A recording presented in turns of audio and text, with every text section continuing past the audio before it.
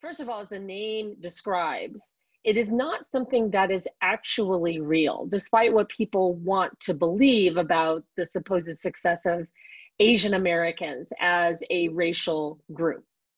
Um, it's also a term that was coined in the 1960s by a white journalist. So it's also not something that's coming from within the community, unlike the phrase Asian American, which actually was a label that was created by Asian American activists and organizers in the late 60s and early 70s as a way to get away from the term Oriental.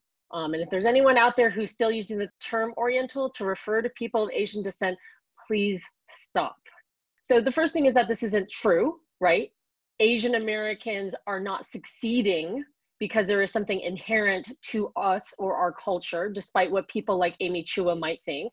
The second thing is it's not true that Asian Americans are this, you know, undisputed success story. So when you start to drill down into Asian ethnic groups and you look at the rates of Southeast Asian communities, like specifically Hmong and Laotian and Burmese, they have among the lowest graduation rates from high school, among the lowest socioeconomic status, among the lowest college attendance.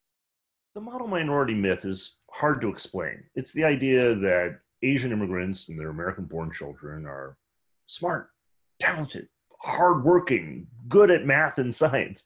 When you complain, people want to say, How thin skinned could you be? Why are you politically correct? They're trying to pay you a compliment. Yet it's false flattery. It allows the whitewashing of the very real problems. It allows people to say, What are you complaining about? You're doing better here than you would in your homeland. Of course, not realizing that America is our homeland it's a way to say that Asian Americans don't need any help and shouldn't be shown any solicitude. It also ratchets up racial resentment. The idea that you're hardworking and an overachiever suggests maybe a little too hardworking. You're an overachiever. You're getting more than your fair share. Why are the Asians taking over? They have all the seats at the prestigious institution all the scholarships. They win every spelling bee and science fair and math competition. It's all these people named Kim and Yuen and Patel. Where are the real Americans?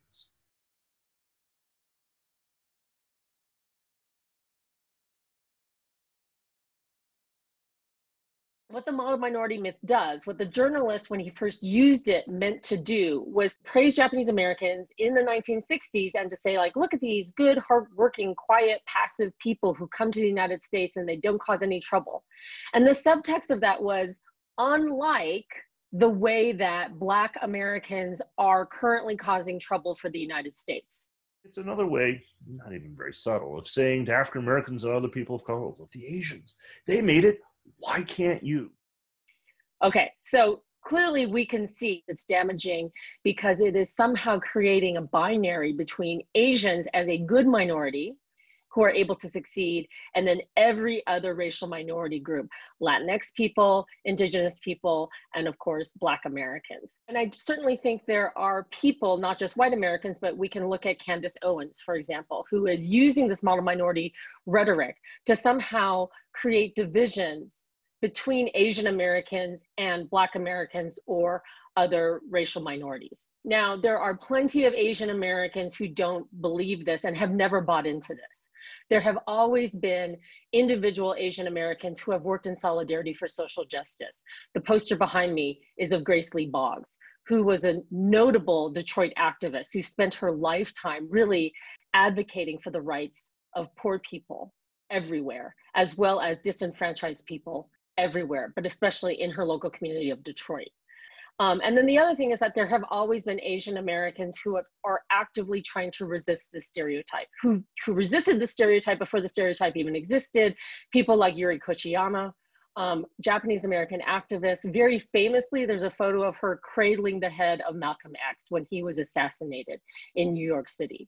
And then, you know, in our present day, there are so many Asian American leaders who are fighting on behalf of social justice and especially against anti-black racism. So i think we need to we need to say this not to discount the racism that exists in asian american communities because there is anti-black racism that exists within asian american communities but we need to say this to show that the narrative is always much more complicated than people want to believe. For asian americans There's been the perennial bewilderment in black white tensions with this color line. If we're neither black nor white, where do we fit in? How can we help? How have we expressed prejudice or enjoyed privilege? How is it possible to be an ally and yet acknowledge that Asian Americans have had their own set of unique challenges? There is no right answer, but it's so important to ask these questions.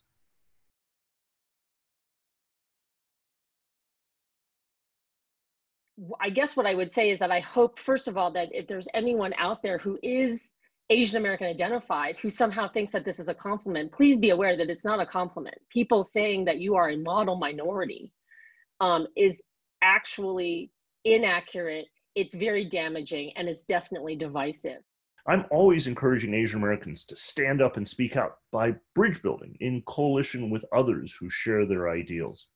You know, many uh, East Asian cultures have uh, an attitude. The, the best known version is the Japanese proverb the nail that sticks up is pounded down, right? Buyao mafan, right? It's the idea uh, don't go looking for trouble. Compare that to the American adage the squeaky wheel gets the grease. So, for many who have come from backgrounds where there wasn't civil society, there hasn't been civic engagement, they don't have that tradition. But here in America, it's necessary. We have to come together. And to say we're American is to signal that not just to others, but to ourselves, to say this now is our home.